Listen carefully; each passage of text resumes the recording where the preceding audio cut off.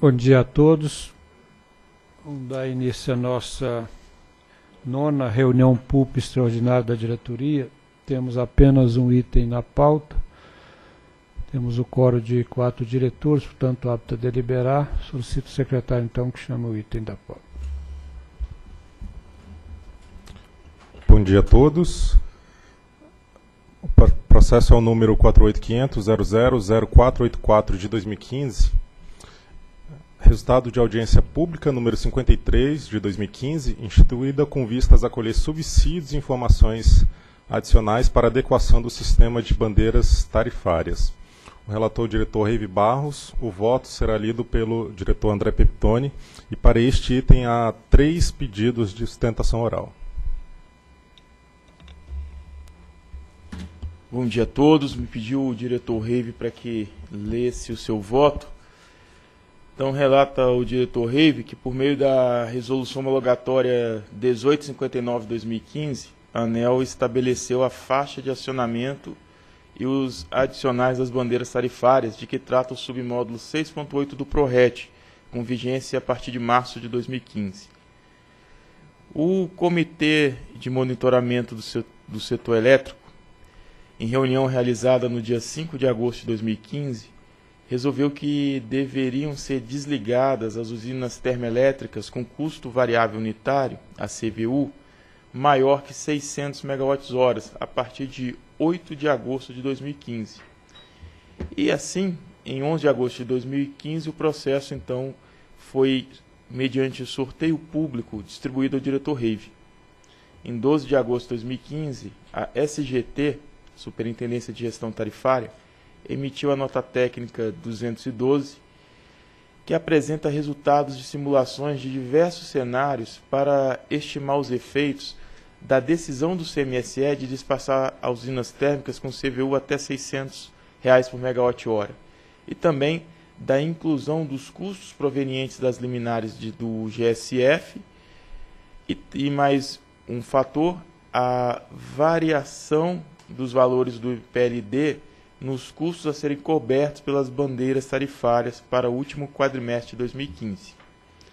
Logo, em 13 de agosto de 2015, as análises efetuadas pela SGT foram submetidas ao processo de audiência pública. Então, foi instituída a audiência pública 53-2015, com duração de 10 dias, com o objetivo de receber contribuições a respeito da alteração do adicional de bandeira vermelha, que deve vigorar a partir de 1 de setembro de 2015. Em 27 de agosto, a SGT, pela nota técnica 226, apresentou a análise das contribuições que lhe foram enviadas na audiência pública 53. É o relato dos fatos. A primeira sustentação oral será feita pelo senhor Alex Roberto, representante da IBS Energy. É, foram concedidos cinco minutos para cada representante.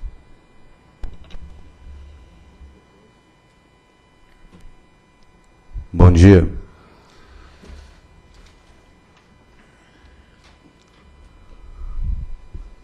Contribuição audiência pública 053. Segundo nota explicativa da ANEL, apuração da conta bandeiras, mês de competência junho de 2015 de 30 de 7 de 2015, nota técnica 212 de 2015, DSGT ANEEL de 12 de 8 de 2015. A receita das bandeiras tarifárias é utilizada para compensar a parte não coberta pelas tarifas dos custos com aquisição de energias que depende do cenário hidrológico. Na apuração do mês de junho, o custo contabilizado foi de 1,6 bilhão, bilhão e o montante da receita da bandeira faturada pela distribuidora foi de 1,4 bilhão, ou seja, verificou-se um déficit de cerca de 200 milhões. A receita de bandeiras retidas pelas distribuidoras é caracterizada como uma antecipação de recursos para obter custos relacionados ao despacho das usinas térmicas e à exposição no mercado de curto prazo.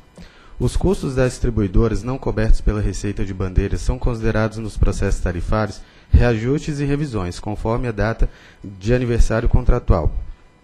Em uma análise mais ampla, no primeiro semestre de 2015, a receita de bandeiras faturada pela distribuidora foi de 6,8 bilhões e o custo pelo período totalizaram 8,3 bilhões, ou seja, 82% do custo dos apurados foram cobertos pelos recursos da bandeira tarifária, conforme verifica-se no gráfico.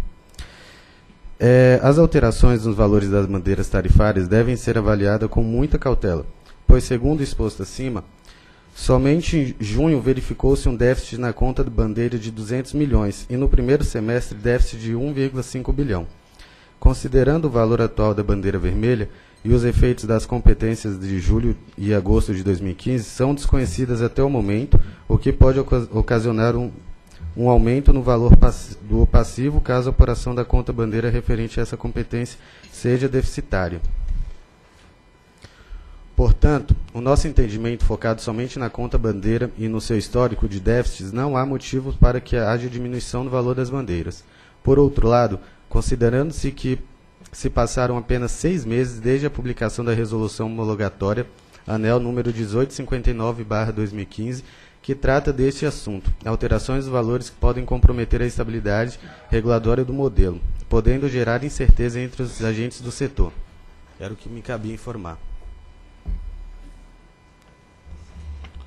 A próxima sustentação oral será feita pelo senhor Paulo Henrique Silvestre Lopes, representante da CPFL.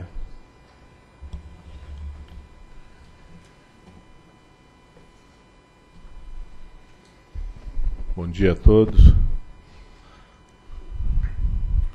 O primeiro ponto que, que nós vamos abordar na questão da bandeira é a questão da legalidade que na avaliação lá da nossa área jurídica tem, tem aí um, um, um ponto de, de, de observação. Que o decreto prevê que elas serão homologadas a cada ano civil. Então, no nosso entendimento, o atual arcabouço regulatório não permite mais que uma revisão anual dos valores da bandeira tarifária. Acho que esse ponto é muito importante nessa questão da definição aí dos novos valores de bandeira. Mas mesmo que superado essa questão, nós temos outros pontos que merecem é, conhecimento de todos. Nós fizemos uma análise da, da, dentro da própria planilha da ANEL, dos cálculos que a ANEL fez com os mesmos critérios que a ANEL usou, só que com os dados mais recentes, com a atualização dos dados de despacho térmico, exposição de Itaipu, exposição das distribuidoras, ajuste de rateio, correção dos valores de carga. Usamos os últimos dados oficiais disponíveis. Usando esses dados, a gente observa nesse gráfico é, a projeção do cenário 4 e cenário 1, aqui está o cenário 1 que a ANEL projetou e o cenário 4. Esses dois cenários a ANEL elegeu como mais prováveis, são os dois cenários mais prováveis. Então, fazendo essa mesma correção para o cenário 1 e para o cenário 4, usando a metodologia e os procedimentos que a ANEL usou, apenas com os últimos dados oficiais, a gente observa aqui no gráfico que o cenário 1, para um PLD na ordem de 150, fica em 5,50 por quilowatt-hora, por 100 kWh. E o cenário, o outro cenário ficaria aqui um pouco acima, saindo aí de 65 e chegando a 60. O outro saindo de 60 para um PLD mais alto cairia abaixo. Então, mesmo usando é, os cenários mais prováveis que a ANEL elegeu, só atualizando os dados, a gente verifica que o valor da bandeira, no mínimo, teria que ser 5,50 mesmo a cada 100 kWh consumidos. Era isso. Muito obrigado. Só corrigindo a informação anterior, serão quatro sustentações orais. A terceira sustentação oral será feita pelo senhor Aldo de Jesus Peçanha, representante da Ampla.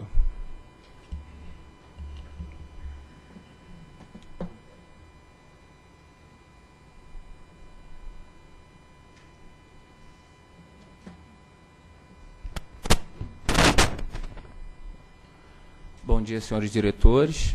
É, eu gostaria de trazer aqui alguns pontos para subsidiar a decisão dessa diretoria.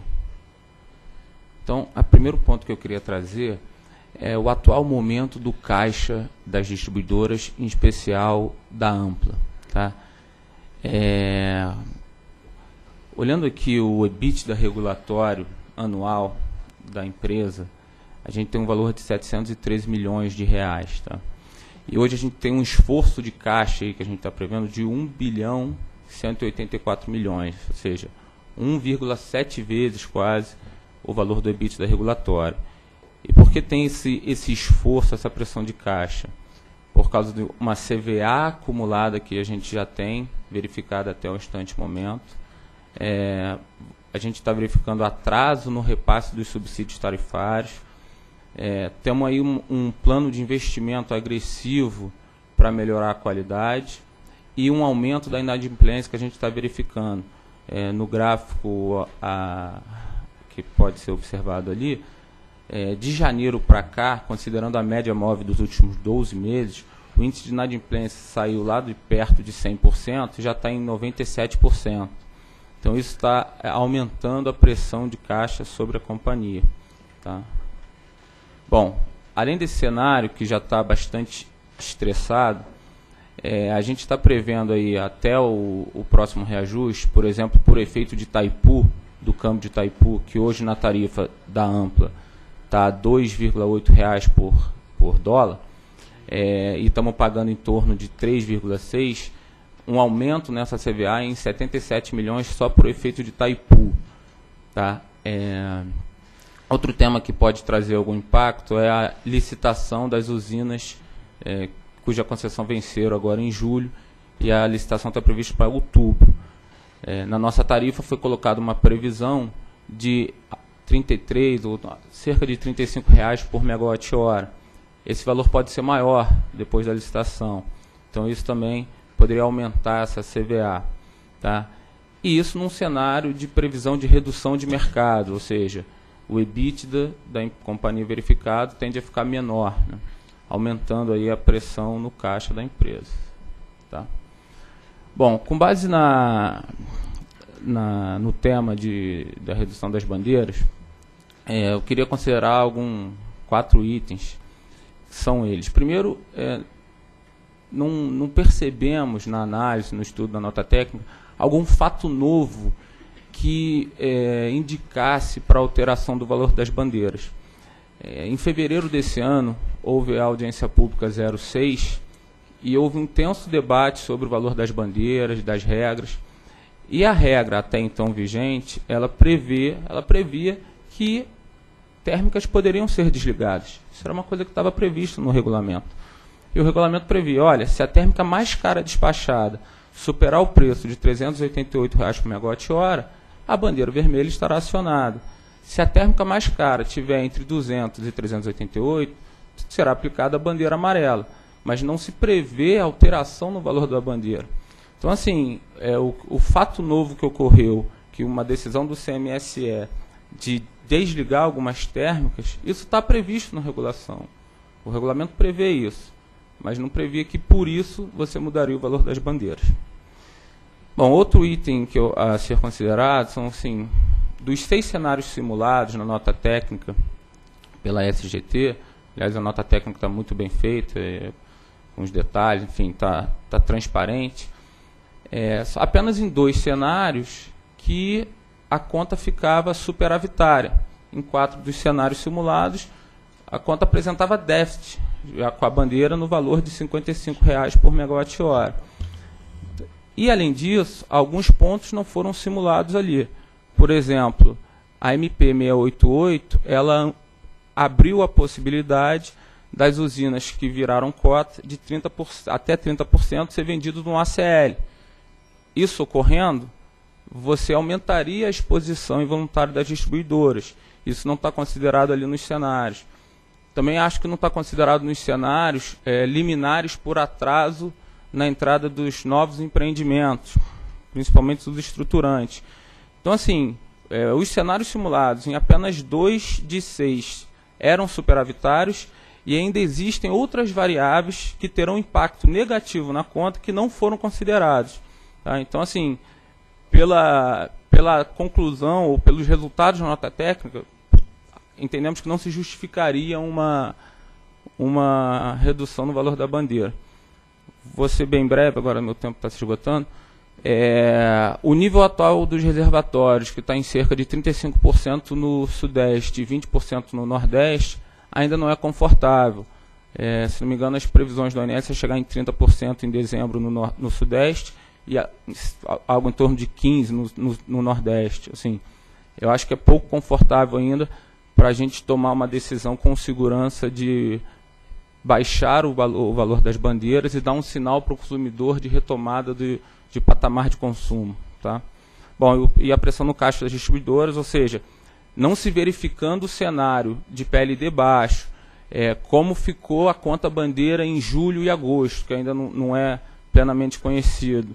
É, você pode aumentar a pressão no caixa das distribuidoras se você aumentar esse saldo deficitário da conta bandeira. Então, concluindo, a nossa proposta não é ser contra essa redução, mas que a gente aguarde pelo menos a definição é, da AP 032 para saber se vai ter adesão do gerador e de fato você não vai ter mais as liminares impactando nas liquidações das distribuidoras na CCE e. Também que você aguarde para você ter mais assertividade das outras variáveis que reconhecidamente são extremamente voláveis e de difícil previsão, como afluência, enfim, PLD.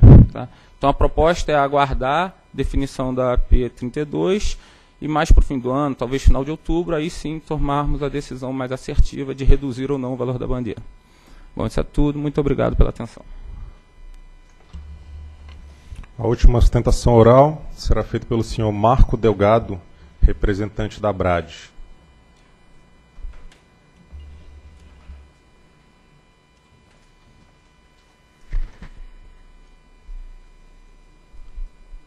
Bom dia, senhores diretores. Agradeço a oportunidade de trazer aqui mais alguns pontos de reflexão. É, acho que no primeiro contexto, esse gráfico também já foi apresentado, a gente só faz um destaque aqui, uma maneira um pouco mais coloquial, o trabalho que a área técnica fez com toda, com toda a competência que tem se apresentado nos estudos, mostrando que existem cenários, não são poucos, como já foram mencionados, de aumento do valor da bandeira tarifária e cenários para redução de valores da bandeira tarifária vermelha. Essa, essa mesma informação ela foi levada para um outro gráfico que complementa essa visão prospectiva. Então, esse gráfico, inclusive, nós fizemos uma rápida exposição dele, mostrando que não é só o déficit da bandeira tarifária que impacta o segmento de distribuição, nós temos também ah, um valor acumulado nas CVAs, e como foi visto ali, ele chegou em determinados é, meses a superar o EBITDA do setor, e não é o EBITDA regulatório, é o EBITDA, o estimativo do EBITDA verificado das empresas, e nós estamos tomando uma decisão prospectiva. Então, fizemos uma tradução dos resultados dos cenários que a área técnica da ANEL fez, transformando isso para os próximos meses em termos de déficit ou superávit. E vimos que podemos chegar em condições otimistas, de um superávit de 3 bilhões de reais, que poderia justificar então a redução da bandeira tarifária, mas temos também situações que vão ao extremo, aonde inviabiliza a capacidade de, de investimento, honrar financiamentos do segmento de distribuição, aonde a bandeira teria que aumentar. Então, é um rol de cenários, a volatilidade é muito grande. E o que, que a gente espera é, da decisão? É, pautada na prudência pautada não num, viés de otimismo, nem também de pessimismo, mas um viés talvez de prudência. E a nossa sugestão ela é bem pragmática. Talvez aguardar um pouco mais a evolução do quadro, das condições de mercado, das condições dos reservatórios.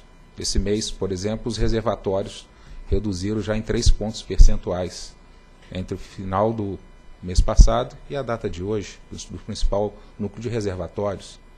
Temos, como já foi dito aqui, questões do âmbito regulatório. Aliás, na, na audiência pública 32, faço menção, o diretor relator sugere, né, é, para viabilizar a possibilidade de acordo, inclusive a postergação da próxima liquidação da CCE, buscando então um ambiente para melhores tomadas de decisões.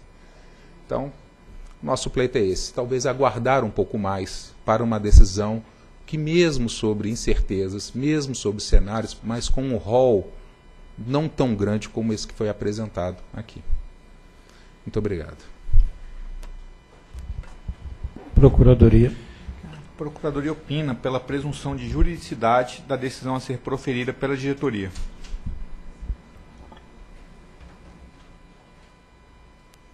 Então, passo a, a leitura da fundamentação de seu voto. O voto que me incumbiu de ler é o diretor Reive. Então, durante a audiência pública 53, foram recebidas diversas contribuições de distribuidoras, conselho de consumidores, bem como de consumidores de forma geral. E quanto às premissas e os resultados das simulações apresentadas na nota técnica 212, foram recebidas contribuições da EDP, da Electro, da CED, do grupo CPFL Energia e da AS Brasil. E, ao ver do diretor Reive, merece destaque o risco hidrológico, onde a medida provisória 688 determina condições de repactuação do risco hidrológico das geradoras, sendo que a exposição a esse risco para os, para os agentes que entrem no acordo passa a ser arcada pela conta centralizadora dos recursos da bandeira tarifária. Apesar do prêmio a ser pago pelos geradores como contrapartida à repactuação, devido a essa diferença de alocação de risco, entende-se então que os, entendem os agentes que há a tendência de aumentar a pressão sobre os gastos dessa conta. E como a publicação de tal medida provisória é posterior à abertura desta audiência pública, sugerem os agentes que os cálculos sejam revisitados de forma a contemplar eventual adesão maciça dos geradores e dadas as incertezas sobre quais agentes irão aderir e quais não irão, entendem ser prudente aguardar a diminuição desse cenário de incertezas para que se prossiga com a análise da matéria, que é eventual redução no valor adicional da bandeira tarifária. Sobre a portaria 384 de 2015, a nota técnica da SGT de número 212 afirma que o grupo de distribuidoras está sobrecontratado, mas não foi considerada nas simulações a potencial redução das cotas de garantia física associadas em decorrência da portaria do Ministério de Minas e Energia 384. E nesse contexto, existe a possibilidade de que as cotas das hidrelétricas que serão objetos do leilão de contratação de concessões, que já estão alocadas integralmente às distribuidoras, sejam reduzidas a somente 70% da garantia física. Isso de fato vai ocorrer, mas é só a partir de 1 de janeiro de 2017. E sobre as liminares de usinas não foi considerado o efeito de liminares de usinas em decorrência de atraso de cronograma, cujos efeitos são alocados às distribuidoras via mecanismo auxiliar de cálculo, mas tem o efeito prático de uma maior exposição das distribuidoras ao mercado de curto prazo e que essa situação, essa exposição ao mercado de curto prazo, contribui para a percepção de que esses custos foram subestimados. E por fim, aponta a energia de reserva, a MP 688 também prevê a possibilidade de repactuação do risco hidrológico referente à parcela do laço das hidrelétricas não comprometidas com contrato no ambiente regulado. E nesse caso, a neutralização desse risco seria feita através da CONER, o que faz com que as premissas adotadas para a simulação dessa rubrica, na nota técnica 212, necessitem também ser revisitadas à luz desse novo cenário. Bom, contudo, o Torreive, que adicionalmente a CEMIG, o grupo CPFL e a ABRAD argumentam que as distribuidoras vêm suportando o atraso do repasse de recursos da CDE, que cobrem os diversos subsídios concedidos pela legislação setorial, de forma que o comprometimento do fluxo de caixa das distribuidoras não se restringe somente ao déficit da conta bandeiras. Assim, alegam esses, essas distribuidoras que a manutenção dos atuais valores é de extrema importância para que as distribuidoras possam saldar seus compromissos financeiros, promovendo alívio da pressão sobre o seu caixa e garantindo a preservação do equilíbrio econômico-financeiro assegurado, sobretudo, no contrato de concessão. E nesse ponto, a área técnica da ANEL entendeu que a redução do adicional da bandeira vermelha, dada a imprevisibilidade de custos futuros, imputaria mais um adicional de risco sobre a, a situação do setor de energia elétrica, o que não é desejável. Foram recebidas diversas contribuições solicitando que o valor da bandeira vermelha seja mantido até o final do ano, tendo em vista a segurança regulatória, uma vez que revisões de valores adicionais das bandeiras em prazo inferior a um ano não estão previstos na regra vigente. Isso foi até suscitado aqui da, da tribuna, se eu não me engano, o representante da CPFL que, que pontua essa, essa questão jurídica. E, e vale observar que a, a maioria das contribuições foi no sentido de não aplicação imediata da redução do valor da bandeira vermelha, tendo em vista que os cenários simulados podem vir a não se realizar e haveria uma maior pressão dos, nos fluxos de caixa das distribuidoras, pelo aumento de custo da parcela A sem cobertura tarifária. Em relação às sugestões de consideração de premissas decorrentes da emissão da medida provisória 1088 e das liminares obtidas por geradores por conta do atraso da entrada em operação de usinas e até uma potencial recuperação do consumo no cenário de redução do valor da bandeira vermelha, observa o Dr. Reive que tais contribuições foram consideradas pela SGT e estão todas pontuadas na nota técnica 226. Ele destaca que alguns desses efeitos somente se concretizarão a partir de 2016, como a repactuação do risco hidrológico com as geradoras, sendo percebidos concretamente esses efeitos a partir então de 2016 e não nesse cenário de tempo remanescente que é de agora até 31 de dezembro de 2015. Então o risco de fato apontado pelas distribuidoras existe, tem que ser avaliado mas seus efeitos é a partir de, são os efeitos são a partir de 1 de janeiro de 2016. E na mesma direção, considera o diretor Reive que as liminares obtidas por algumas usinas também devam ser objeto de contestação por parte das distribuidoras da própria BRAD, mas além do que já vem sendo feito pela ANEL, uma vez que a conta do atraso e o baixo desempenho de usinas além do próprio risco hidrológico, não deve ser atribuída aos consumidores de energia. E sobre as simulações efetuadas pela área técnica da ANEL, entende o diretor Reive que o mecanismo de bandeiras tarifárias foi desenvolvido com o propósito de sinalizar mês a mês o custo de geração de energia elétrica que será cobrada dos consumidores. Essa é a filosofia do mecanismo, é o realismo tarifário. E não se pode desprezar a delicada situação financeira enfrentada pelas distribuidoras. Entretanto, o mecanismo de bandeiras, conceitualmente, não se presta a ajuste ou compensações diversas do propósito ao qual o mecanismo foi instituído. E dessa forma, entende o diretor Reve que as bandeiras devam refletir essencialmente o cenário de disponibilidade de geração de energia e diante da decisão do CMSE, a qual considerou a redução do, do consumo, que é o esforço empreendido pelo consumidor, ou seja, o consumidor deu resposta a toda a campanha que o governo fez e buscou a eficientização e a eliminação da cultura do desperdício na, no seu dia a dia. E considerando a melhora do cenário hidrológico, o papel da ANEL é de refletir então tais resultados no mecanismo da bandeira. Ou seja, o benefício devido ao esforço da redução do consumidor, que contribuiu para a decisão de desligamento das UTS, com CVU maior que 600, deve também, então, ser repassado em prol do consumidor de energia. Trata-se de uma questão de coerência regulatória, não confundir o conceito que fundamenta o sistema de bandeira, ou seja, sinaliza aos consumidores do Brasil o custo real de geração de energia, com o alívio de caixa das distribuidoras. Está muito bem segregado e muito bem pontuado pelo diretor Reive.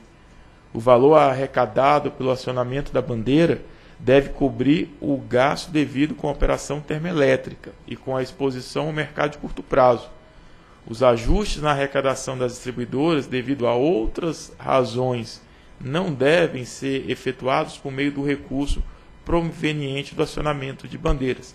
Essa é uma questão que existe e tem que ser tratada pela agência reguladora com equilíbrio, a cautela e a devida participação da sociedade por meio de audiência pública. A gente não pode confundir os instrumentos. A bandeira, conforme está muito bem caracterizado no voto do diretor rei, tem uma, especific... tem uma especificidade e ela tem uma destinação muito bem caracterizada na legislação e é para isso que ela serve. Não dá para usar esse mecanismo para arrecadar a caixa para enfrentar outros problemas. Assim, senhores diretores, diante do exposto e do que consta no processo 48.500.000484-2015, dígito 77, vota o diretor Reive por aprovar a alteração na resolução homologatória 1859-2015, que estabelece as faixas de acionamento e os adicionais de bandeiras tarifárias de que trata o submódulo 6.8 do PRORET, a vigorar entre setembro e dezembro de 2015, alterando o valor a ser acionada a tarifa de aplicação de energia, a TE, do patamar de R$ 55,00 por megawatt-hora que equivale a R$ 5,50 a, 100, a cada 100 kWh de consumo, para o patamar de 45 reais por megawatt-hora, ou seja, o que equivale a 4,50 centavos a cada 100 kWh de consumo é o voto. Em discussão. Eu quero, quero fazer alguns comentários. É, primeiro, para mim, é o entendimento do diretor Raven, basicamente expresso nos parágrafos 15 e 16, sobre a função da conta bandeira, é bastante cristalino. Então, a conta bandeira ela tem basicamente dois propósitos. O primeiro propósito é, de fato, sinalizar o custo real da energia. Então, o objetivo disso é, é, de uma certa maneira, dar um sinal de preço mais eficiente né? E é claro que o efeito derivado na primeira derivada é um ajuste mais adequado do fluxo de caixa da, da, das distribuidoras e um pouco de redução da, da CVA. Mas este é o efeito. O objetivo é cristalino, é sinalização de custo, é assim como foi conduzido o processo todo. E a, o segunda, a segundo aspecto da bandeira, que é bastante importante, é que o objetivo desse curso ser sinalizado é possibilitar uma resposta de demanda. Então, por conta disso, a bandeira é estruturada uma maneira pedagógica em três cores. Então, você tem uma cor verde, uma cor amarela e uma cor vermelha. Inclusive, no site da ANEL, a gente indica o que é que significa essas, duas, essas três cores. Então, a cor vermelha significa uma situação de estresse hídrico, né? não é confortável, é um sinal para os consumidores é, reduzirem, é, portanto, a carga. Então eu acho que é fundamental que se, seja mantida essa estrutura de três cores. Agora, em compensação, por conta um pouco do processo que, que é, a, minha, o meu gabinete, a minha equipe vivenciou no processo da, da, do GSF, é, me parece que existe algum sentido em ter mais de um valor por cor, porque você potencializa a outra função, que é a função de representar adequadamente o custo. Então não há necessidade de você ter seis cores, sete cores, pode ser só as três. Mas não precisa ter apenas três valores, inclusive porque os custos relacionados com um despacho de térmicos acima de 600 ou acima de, de, de 400, nesse intervalo já são bastante diferentes. Então, de uma maneira bastante simples, eu acredito que no futuro, para o ano de 2016, nós teríamos que enfrentar essa, essa discussão. Em havendo esse efeito, que aí sim, ao contrário da, exposição da ampla, eu acho que o fato de você tirar as, as térmicas acima de 600 é suficiente para motivar essa discussão. Já que essa discussão foi antecipada, eu acho que a gente podia pensar nessa hipótese é, já por agora. Então, a ideia é exatamente manter a função da, da, da bandeira, que é sinalizar o custo adequado, e sinalizar é, para os consumidores a, a, a, situação onde ela se encontra. Se a gente olhar a conta de luz nossa, vem escrito lá bandeira vermelha e o adicional da bandeira vem em reais. Então é importante que os consumidores saibam que a bandeira ainda é vermelha e que é preciso manter a redução da, da, da carga. Mas é injusto não refletir o esforço já realizado no preço da bandeira, porque a carga caiu. ela caiu significativamente. O fato da gente poder estar tá, tá, é, reduzindo essas térmicas, ela não deriva da chuva. A chuva melhorou, mas ainda continua um ano que está abaixo da média. Tá um ano tá, se eu não me engano, a última vez que eu olhei estava entre os, os, os 12 e os 15 piores ainda. Então não é uma chuva que veio e que, e que salvou a lavoura. O consumidor respondeu à bandeira e ele responde à bandeira por meio de mudança de hábito e por meio de investimento. Eles investiram em, em, em lâmpadas mais eficientes, em equipamentos mais eficientes, colocaram lâmpada LED que não é lâmpada barata. E aí a gente fala que, pô, mas aí ele, ele responde o efeito da redução de carga que vem dele praticamente, exclusivamente do consumidor, possibilita uma redução de custo do sistema e a gente não transfere essa redução de custo para ele.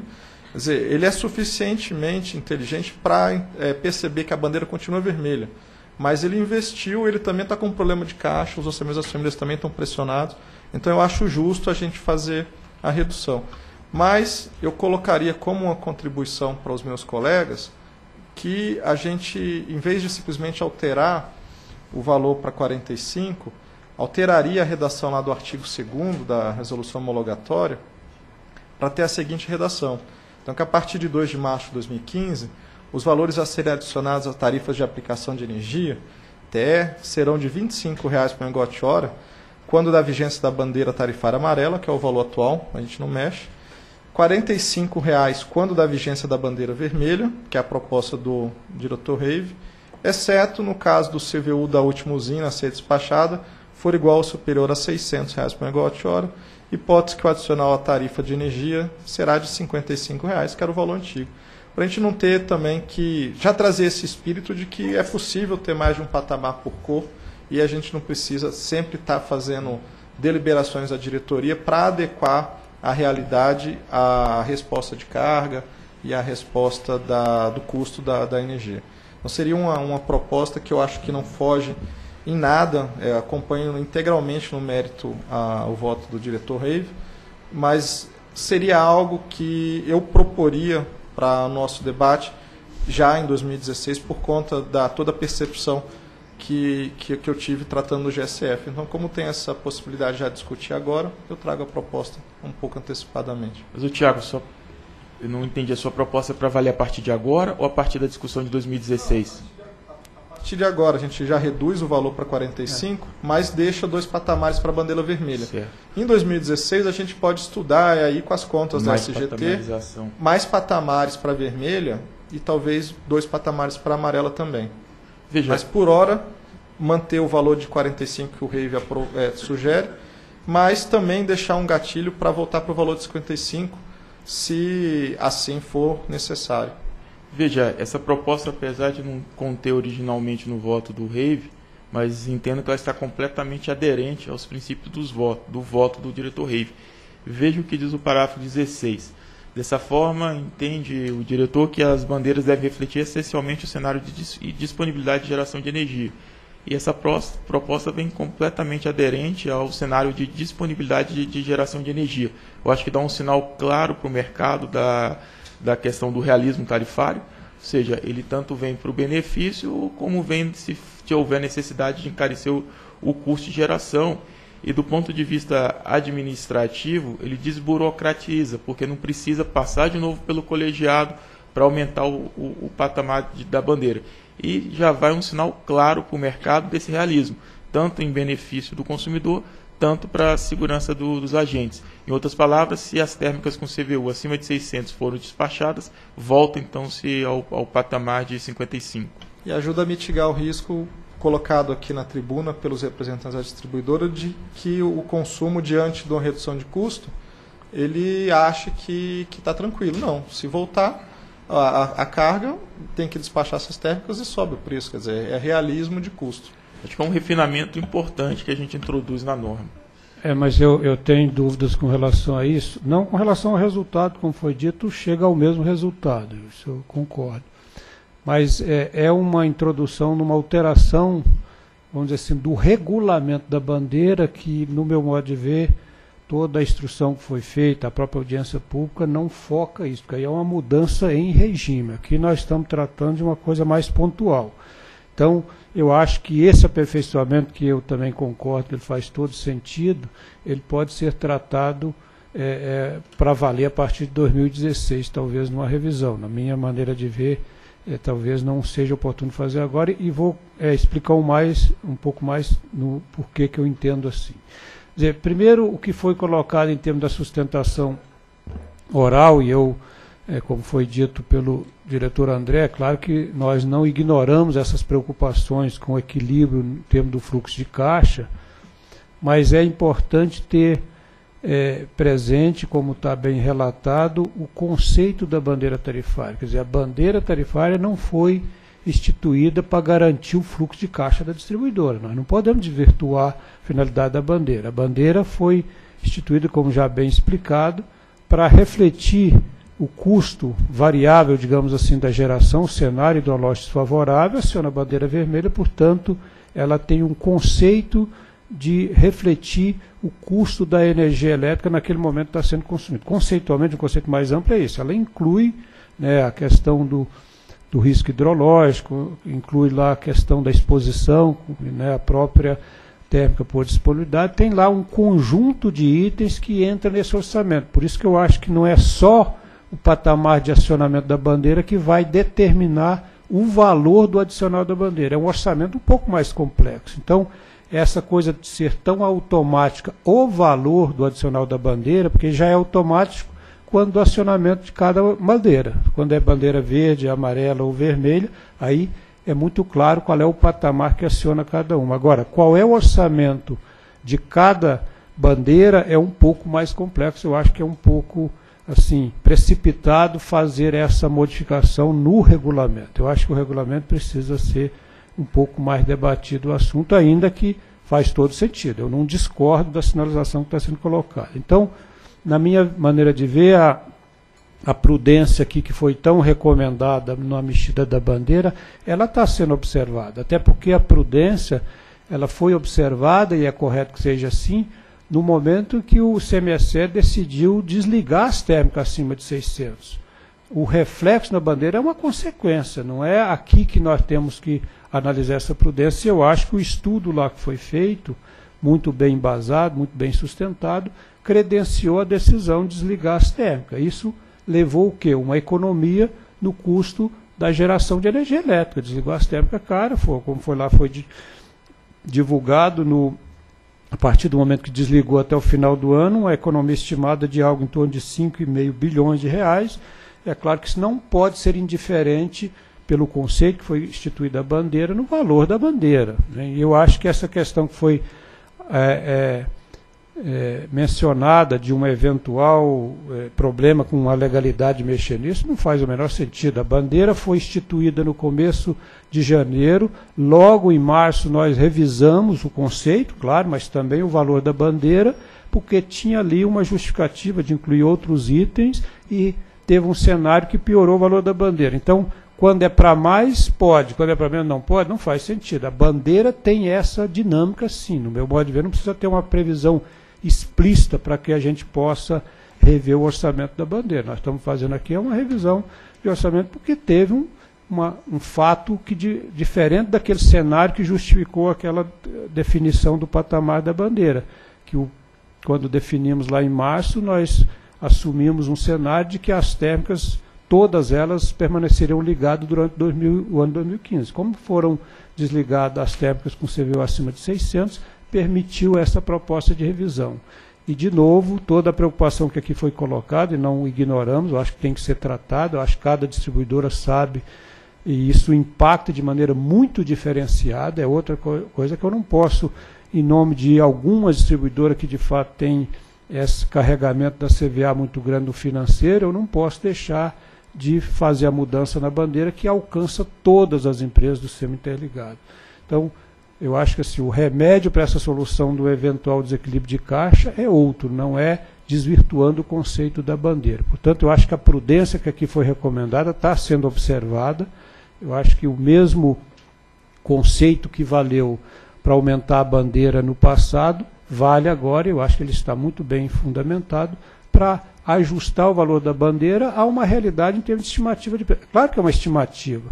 E também sabemos nós que essa situação de que o valor arrecadado tem sido um pouco menor do que os gastos eh, bancados pela bandeira, já era de conhecimento. Quer dizer, a bandeira foi ao longo do ano sendo, ah, eh, vamos dizer assim, incrementada a sua arrecadação e de sorte que nos primeiros meses tinha mesmo uma, um déficit na bandeira, mas ao final do ano a previsão é que ela, vamos dizer assim, entre em equilíbrio. Claro que tem algumas decisões judiciais, né, a questão que já foi aqui colocada na sustentação oral, que, de novo, não é também por uma decisão ainda muito precária que nós vamos ser, eu diria, aí não é nem prudente, até irrealista, o ponto de não reduzir a bandeira por uma possível necessidade futura de recurso da bandeira. Não há, não acho que seja, a prudência não deve levar a esse ponto. Né? Então, aí eu, eu, eu acho que só, então, é, mais objetivamente com relação à proposta que encaminha o diretor Tiago, de novo, eu não discordo, não, acho até que é uma proposta interessante, mas eu entendo que não é oportuno fazer nesse momento, porque ela levaria ao mesmo resultado que nós estamos aqui, é, que o diretor Reive relata, levaria exatamente ao mesmo resultado, com a diferença de que ela talvez não tenha sido enfim, analisada, instruído o processo, submetido a debate na audiência pública, com esse propósito de mudar conceitualmente para ter dois patamares de custo em cada bandeira. Eu acho que isso é uma coisa que pode aguardar para uma discussão mais ampla, quem sabe, para o próximo ano. É, eu também gostaria de fazer uma pontuação e vou fazer especificamente na proposta do doutor Tiago, porque eu acho que os outros pontos foram muito bem relatados, tanto pelo diretor relator, o Romeu e o Tiago, e o próprio André também já comentaram o propósito da bandeira. Eu acho que a proposta que o Tiago fez é, é, bastante interessante mesmo, não tenha dúvida. Agora, mais pontuo e, e reforço aquilo que o Romeu falou no final, que nós não tratamos na audiência pública. Então, como, como via de regra, os assuntos que a gente trata em audiência pública e quando tem alguma alteração naquele, naquilo que não é tratado em audiência pública, nós e reabrimos a audiência pública. Não é o caso. Eu acho que nós não temos é, tempo para isso, para que se possa aplicar a partir do, do início do mês. É, mas é, é interessante para 2016. Eu acho que nós temos um prazo razoável para que a gente trate disso. É, e, e acredito que o caminho é, é, mais ou menos esse mesmo. Eu acho que é bastante, bastante interessante. Né? Não quer dizer que vai ser bandeira vermelha clara, bandeira vermelha escura, não. É bandeira vermelha, né, com, com alguns patamares, porque senão pode já alguém estar tá suscitando que vai ter umas colorações de, diferentes, não é isso. Mas é, eu também concordo que seria um pouco precipitado a gente é, fazer essa alteração. Aí sim nós não fizemos uma análise é, desse gatilho de forma é, com a sociedade. Se, se, eu puder, só em relação a esse argumento, claro. que eu acho ele bastante pertinente e, e talvez forte o suficiente para não, não, não prosperar a, a proposta que eu fiz. Mas, de uma maneira bem sucinta, é, a gente inclusive não mexe na amarela exatamente por conta disso, porque eu acho que não foi instruído. Mas durante a discussão, o espírito estava posto, que a bandeira representa custo, os valores de 45 e de 55 estavam postos, as contribuições são em manter 55 e o gatilho de 600 estava posto. Então seria quase como se a gente desse provimento parcial às contribuições, não é nada novo. Né? Ah, tudo bem, parece que é muito é, diferente ter dois patamares por uma mesma cor, não é cor clara nem cor vermelha. Mas é, ela faz, fazia todo sentido, a gente não viu isso no, no passado, é, talvez por mero azar, porque não, não há necessidade de ter paridade nas cores com os patamares. E os números não são, são todos conhecidos, todos foram simulados, e o gatilho estava conhecido. Então, por isso que eu acho que dava para propor somente dois patamares na vermelha, embora eu acho que no caso da vermelha seria interessante ter três, e no da amarela dois. Justamente porque eu entendo que a instrução do processo não foi dessa forma. E é, e é importante decidir hoje, não, não, não dar vistas, não atrasar para setembro. E eu concordo com o diretor Romeu que, do ponto de vista prático, de tudo que a gente entende, é, Daqui até setembro a gente tem uma expectativa razoável de chuva. Outubro é o último mês e aí a gente chegou na meta de novembro. Quer dizer, em dois meses não vai acionar as térmicas mais 60. Então, tal- talvez eu esteja só fazendo o mesmo marola. Não, Mas eu ainda acho interessante a proposta. A Não, proposta não, é muito não, é interessante, interessante. e conforme foi colocado aqui pelos diretores, a gente pode estudar para avaliar eh, a partir de 1 de janeiro de 2016. Não, pe- pelo contrário, viu, Tiago, absolutamente não, não entendo que isso é marola, não. É, conceitualmente acho que está corretíssimo. É só pelo fato de que leva ao mesmo resultado, né?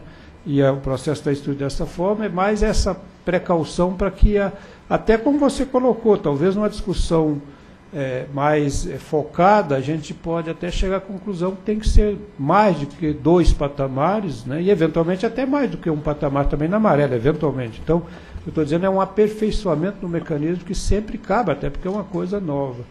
É, mas é exatamente por levar ao mesmo resultado, pelo menos de momento, de 2015, é que eu fiz as minhas considerações.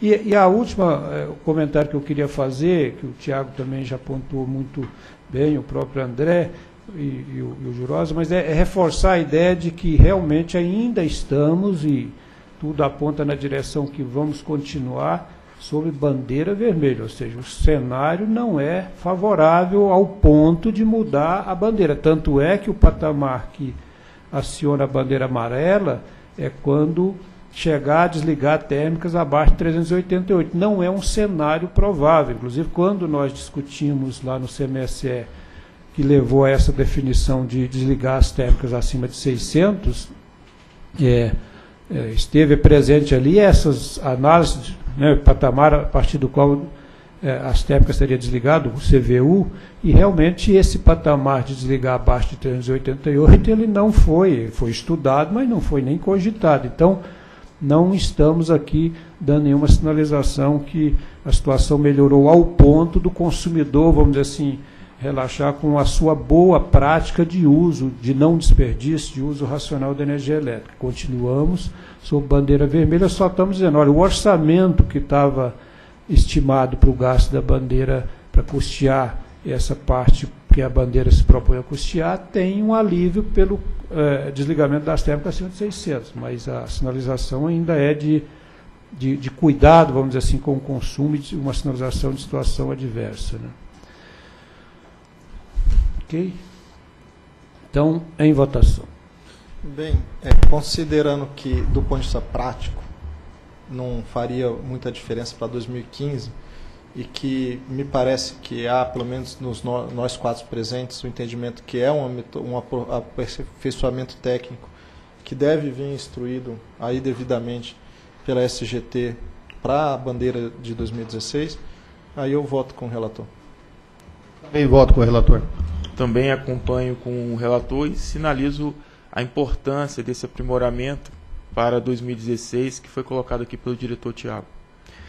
Também voto com o relator. Proclamo então que a editoria decidiu por aprovar a alteração da resolução 1859/2015, que estabelece as faixas de acionamento e os adicionais das bandeiras tarifárias, de que trata a submodo 6.8 do PRORET, a vigorar entre setembro e dezembro de 2015, portanto, vale a partir de 1 de setembro de 2015, alterando o valor a ser adicionado à tarifa de aplicação de energia, TE, do patamar, no caso a bandeira, então, passa de R$ 55,00 por megawatt-hora para R$ 45,00 por megawatt-hora, a partir de 1 de setembro. Isso equivale, fazendo, abordando de uma outra forma, é, raciocinando a cada 100 kWh consumido, um valor de R$ 5,50 para R$ 4,50. Ou seja, uma redução do adicional de bandeira vermelha de, da ordem de 18%. É isso que acabamos de decidir. E era só esse o item da pauta, então declaro encerrada essa nona reunião pública extraordinária da diretoria. Um bom dia a todos.